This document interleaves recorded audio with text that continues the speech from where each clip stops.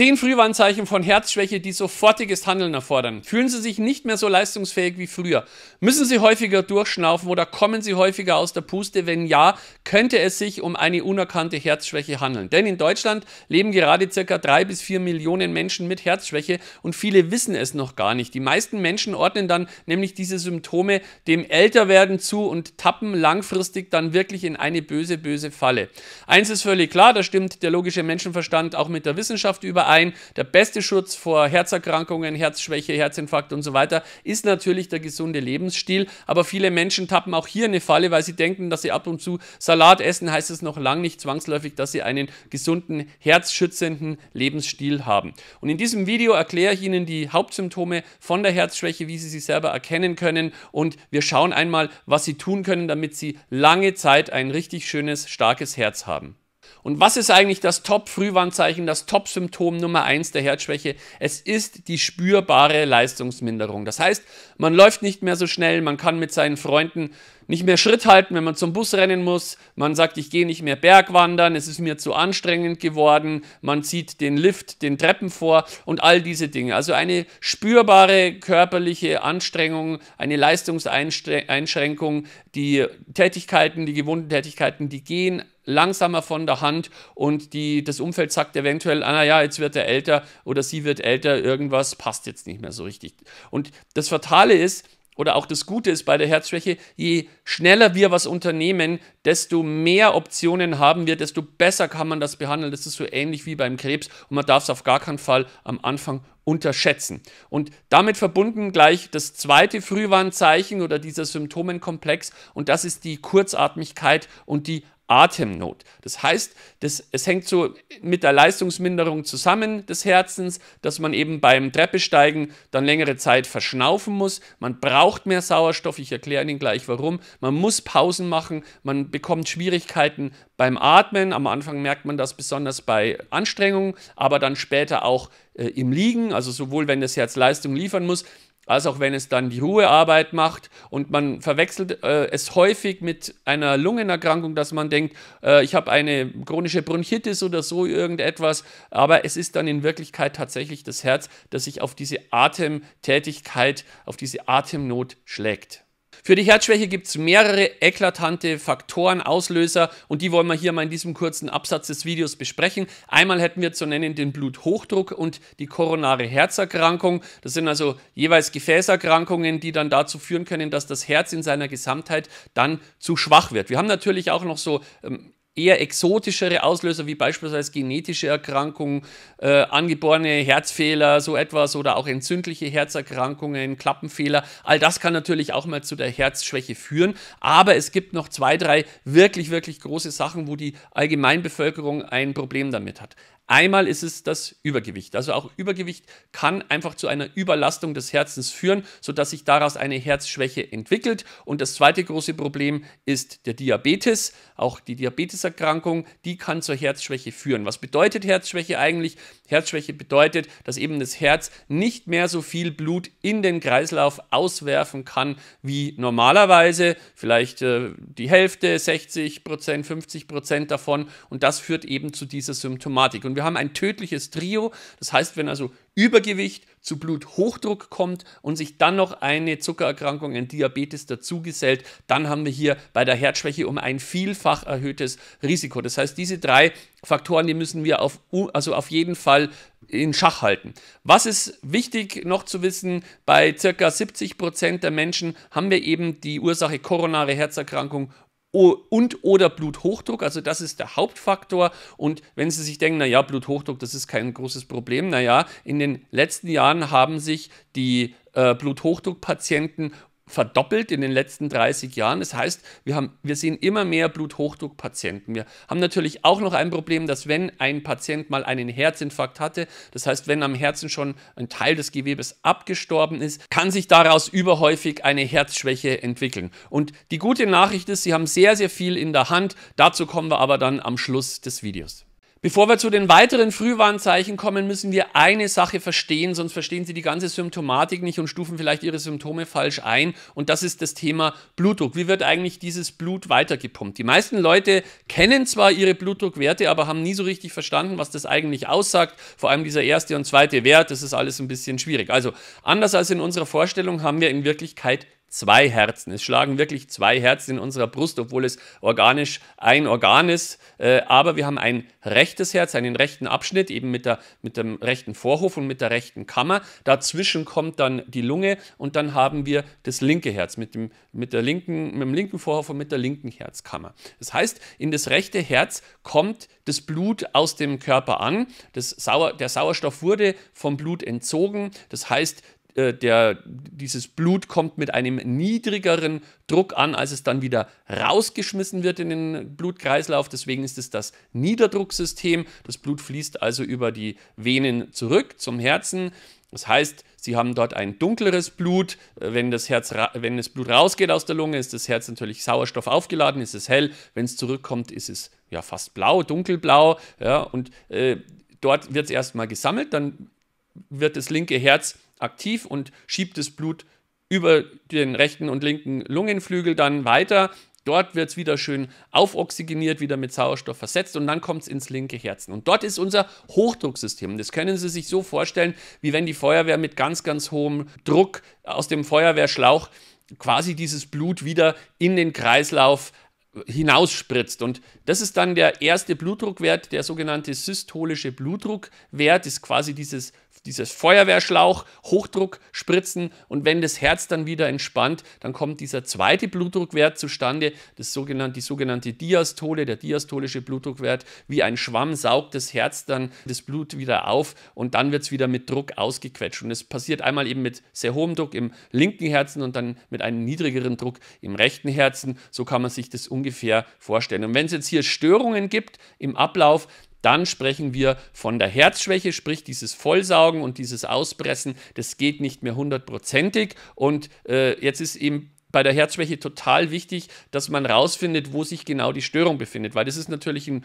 Unterschied in der Therapie, ob das nicht mehr so richtig funktioniert, weil die Klappen nicht mehr richtig schließen oder weil Diabetes oder Übergewicht die Ursache dafür ist. Das heißt, wir müssen hier unterscheiden zwischen einer Linksherzschwäche äh, oder der diastolischen Herzschwäche. Hier hat das Herz keine Kraft mehr, das Blut in den Kreislauf so richtig rauszuschleudern. Wir könnten sagen, das ist ein, ein Herzkraftproblem oder wir haben eine Rechtsherzschwäche, eine diastolische Herzschwäche und hier fehlt eher die Elastizität, dass das, dass das Herz das Blut wieder wie, wie so ein Schwamm aufnimmt. Das ist dann eher ein Dehnungsproblem, könnten wir sagen, oder so ein Schwammproblem, ein Spannkraftproblem des Herzens. Und die Konsequenz ist immer, es fehlt Blut. Ja? Entweder das Blut fehlt äh, im, im linken Herzen, dass es richtig rauspumpen kann oder das Blut wird quasi zwar gesammelt, aber nicht richtig weiter transportiert. Letzten Endes fehlt immer Blut im Kreislauf und dann, wir wissen alle, was Blut macht. Blut äh, transportiert den Sauerstoff ins Gewebe und damit verbunden haben wir eben dann diese Symptome der Leistungseinschränkung, dass eben zu wenig Sauerstoff ans Gewebe rangeliefert wird. Und der Körper ist natürlich nicht blöd, er versucht es zu kompensieren und macht ihnen eins, er kann ihnen den Herzschlag beschleunigen. Er sagt sich, okay, wenn ich jetzt halt pro Schlag nicht so viel Blut ausschleudern kann, dann mache ich halt das Herz schneller, damit das, was noch ausgeschleudert wird, eben schneller an den Endverbraucher kommt. So kann man sich das vorstellen. Und daraus kann sich eben hier so eine Unregelmäßigkeit des Herzschlages entwickeln. Herzklopfen beispielsweise oder die Menschen sagen dann, mein Herz poltert oder pocht oder irgendwie sowas. Also unregelmäßiger Herzschlag, schnellerer Herzschlag.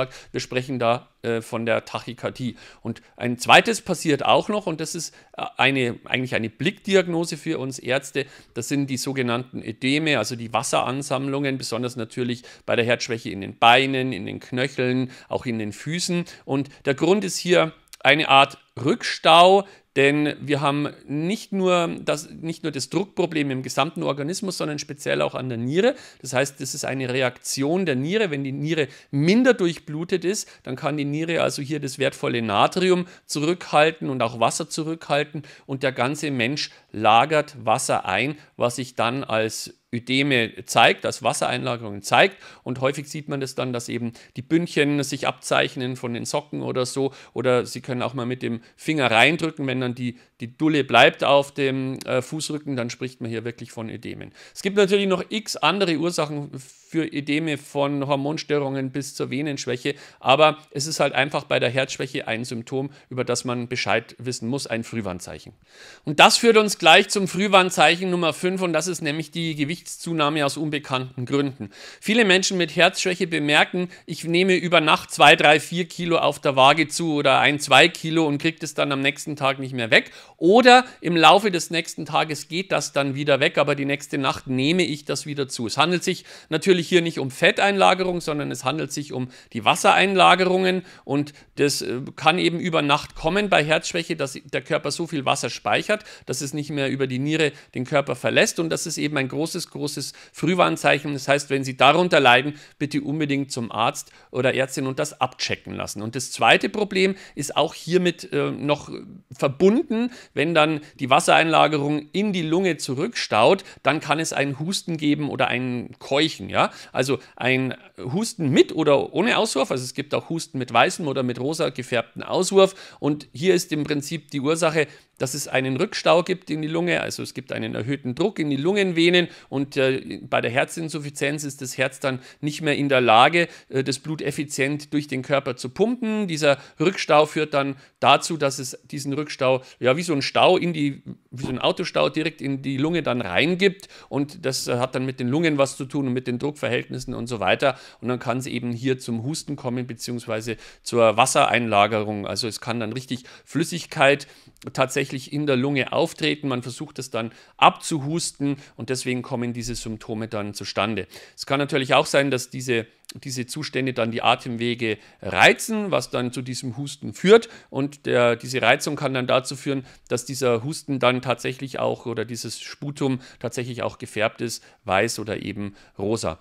Wir haben natürlich das große Problem, dass wenn wir dieses Problem haben, die Lunge nicht mehr richtig gut funktionieren kann und dass dann sich das Problem bis in die Lunge sozusagen zieht. Sprich, wir haben ja dieses Hochdrucksystem, das Blut wird ausgeschüttet in den Körper. Aber was ist jetzt eigentlich, wenn die, der lebensnotwendige Sauerstoffaustausch in der Lunge nicht mehr so richtig funktioniert. Wir kriegen dann eventuell sogar einen herzinsuffizienten Patienten, den wir mit Sauerstoff versorgen müssen. Wie wir jetzt gerade schon gehört haben, heißt Herzschwäche de facto Sauerstoffmangel. Und ein Organ ist natürlich ganz besonders auf Sauerstoff angewiesen und das ist das Gehirn. Und häufig ist es eben so, dass Menschen mit Herzschwäche dann erstmal auffallen, weil sie Konzentrationsschwierigkeiten haben oder weil sie verwirrt sind und das Umfeld denkt, oje, oje, jetzt kriegt er schon langsam am Alzheimer, aber kein Mensch denkt an das Herz. Also das sollten Sie auch auf der Rechnung haben, wenn jetzt jemand ähm, ja in Richtung Konzentrationsprobleme geht und schon ein gewisses Alter erreicht hat oder vielleicht äh, eine passende Vorgeschichte zum Herzen hat, haben Sie das im Hinterkopf, dass eben Herzschwäche auch Verwirrung und so weiter, Konzentrationsstörungen auslösen kann. Und noch ein zweiter Punkt ist wichtig, wir reden bei den Wassereinlagerungen nicht nur über die Lunge und nicht nur über die Beine und Füße. Nein, diese Wassereinlagerung kann auch in den Bauchraum zurückstauen. Das bedeutet also, Magenschmerzen können eventuell aufgrund dieser Wassereinlagerung kommen, Blähungen, Schmerzen im Bauchbereich und so weiter. Und wenn es ganz schlimm kommt, das sind dann aber keine Frühwarnzeichen mehr, sondern Spätstadien, dann kann es sogar zur Aszitis kommen, zur Bauchwassersucht, sprich, dass sich das Bauchwasser oder dass das Wasser im Bauchraum sich ansammelt und dass wir dann von außen außen mit der Spritze kommen müssen und dieses Bauchwasser wieder punktieren müssen, damit äh, die Organe entlastet sind. Und bleiben wir noch ein bisschen im Bauchraum, denn auch Symptome wie Appetitlosigkeit und Übelkeit können mit Herzschwäche zusammenhängen. Aber hier ist jetzt nicht die Ursache das viele Wasser, sondern hier kommt wieder die schlechte Durchblutung ins Spiel. Also bei schlechter Durchblutung der Verdauungsorgane können wir wirklich tatsächlich beim Herzpatienten beobachten, dass er weniger Appetit hat oder auch mit Übelkeit reagiert. Und lassen Sie uns noch über ein Symptom sprechen. Das ist der typische Brustschmerz. Der tritt auf, wenn das Herz nicht genug Sauerstoff enthält und ist natürlich oft begleitet von einer koronaren Herzerkrankung, wenn die Gefäße Gefäße also sich zusammenziehen und äh, nicht mehr so viel äh, Blut rankommt, aber kann auch auftreten, eben begleitet von einer Herzschwäche, gerade dann, wenn man sich anstrengt, wenn die Auswurfleistung des Herzens nicht mehr so richtig funktioniert. Also haben Sie das bitte auch auf dem Bildschirm, immer wenn Sie sich anstrengen und Sie bekommen dann dieses Gefühl der, der, der, des Herzdrucks oder so, dass Sie das wirklich, wirklich abklären lassen und sich beim Kardiologen vorstellen. Bevor wir zur großen Frage kommen, was können wir tun, damit unser Herz möglichst lange gesund bleibt, hier noch einige Hinweise, wie man so eine Herzschwäche behandeln kann. Erstmals ganz wichtig, dass Sie frühzeitig zu den Routineuntersuchungen gehen oder wenn Sie solche Symptome haben, lassen Sie sich einfach beim Kardiologen abchecken.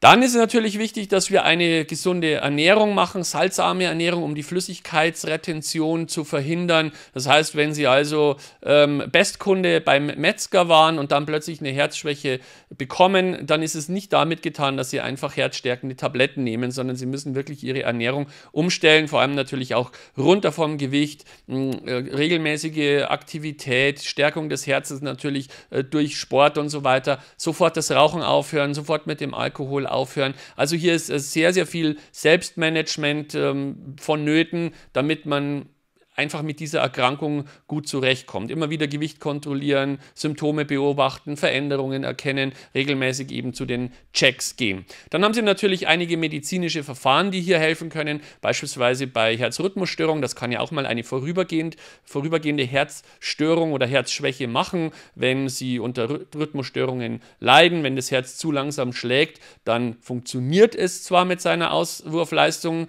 aber die Auswurfleistung, die reicht halt nicht, weil es ähm, zu wenig häufig auswirft. Das heißt, hier kann natürlich mal ein Herzschrittmacher helfen. Wir haben dann natürlich auch schon äh, besondere Möglichkeiten, die, die, die Herzkammer zu unterstützen. Da gibt es ganz moderne Geräte, ja, dann in schweren Fällen natürlich auch Herztransplantation oder solche Dinge. Aber die meisten Menschen werden dann Medikamente brauchen, einen Beta-Blocker beispielsweise, ACE-Hämmer, all diese Dinge, die den Blutdruck behandeln. Viele mit Herzschwäche brauchen dann die Wassertabletten, damit wir das Wasser eben wieder rausbekommen aus dem Gewebe. Und ähm, ja, Klassiker natürlich Digitalis-Präparate oder Strophantin, Aldosteron-Antagonisten. Also wir können medikamentös hier das Leben natürlich leichter machen und deutlich verlängern.